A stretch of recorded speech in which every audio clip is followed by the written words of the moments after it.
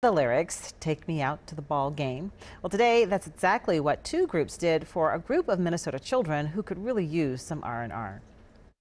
Big Twins fans, right? Mm-hmm. Eight-year-old Maya Negebauer is enjoying a day at Target Field with her father, with the rest of her family there in spirit. Hi, Mom. Hi, Dad. Maya was born with a heart condition and had surgery as a baby. Just last month, she had another one to replace her pulmonary valve.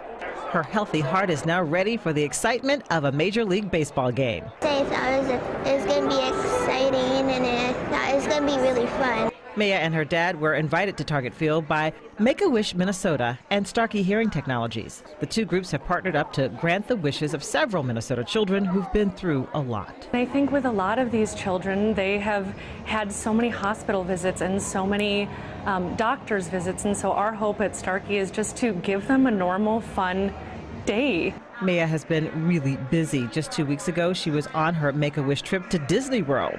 Thankfully, the warm weather they had in Florida is now here in Minnesota. You were so excited to wear shorts, weren't you?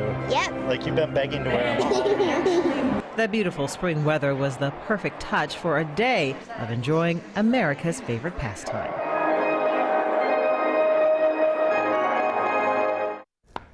Today's game falls on World Wish Day. Six children got the VIP treatment inside a suite there at Target Field. Very nice.